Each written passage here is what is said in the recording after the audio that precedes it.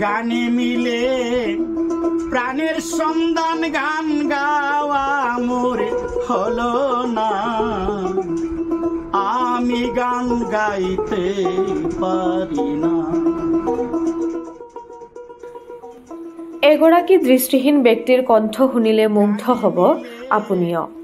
শিলচৰৰ দৃষ্টিহীন শিল্পী শ্ৰীহৰি দাস সুদীৰ্ঘ বত্ৰিশ বছৰ ধৰি চহৰৰ অলিয়ে গলিয়ে গীত গাই মোকলাইছে ভাতমুঠি।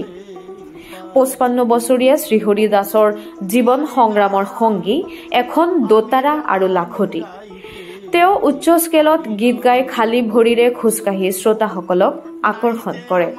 শ্ৰোতাসকলে গান শুনি সুখী হলে যি অৰ্থ দিয়ে, সেই উপাৰ্জনেৰেই তেওঁৰ মাতৃ আৰু ভগ্নীৰ তিনিজনীয়া পৰিয়ালৰ জীৱন চকা ঘূৰি আছে।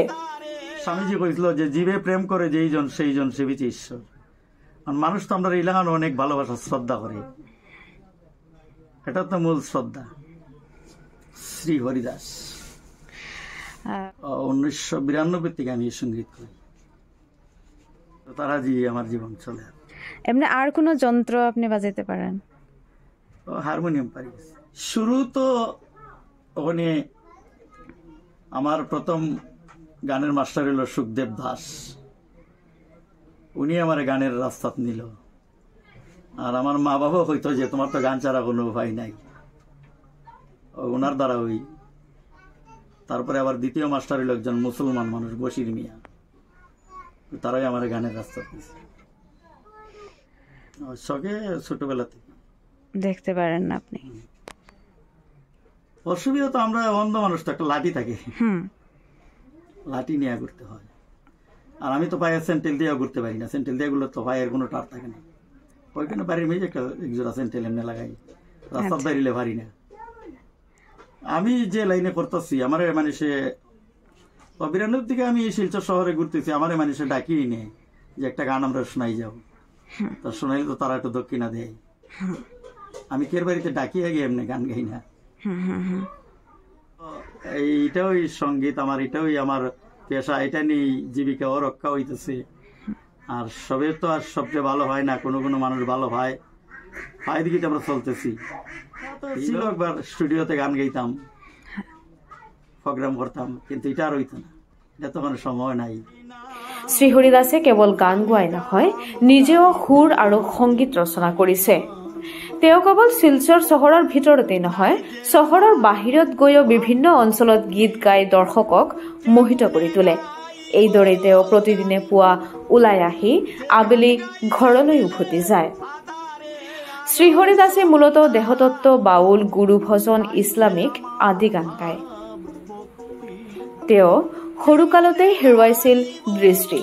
বহু চিকিৎসকে চিকিৎসা কৰিলেও লাভ হোৱা নাছিল। জীৱনত চিৰদিনৰ বাবে নামি আহে আন্ধাৰ।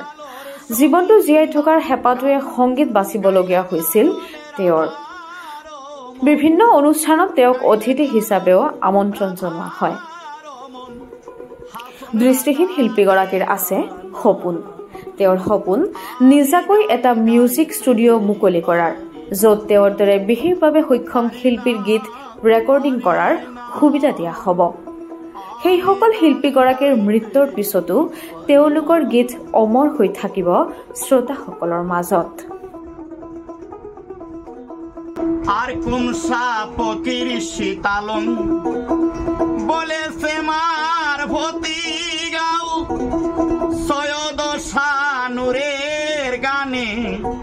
শুকনাতে দৌড়াইছে নাও। আর কোন সাপকির শীতালং বলেছে, মার ভতি গাও।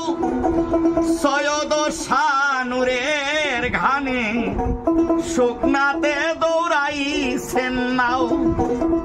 গাউরে সবাই প্রাণ ভরিয়া গাউরে সবাই প্রাণ ভরিয়া না।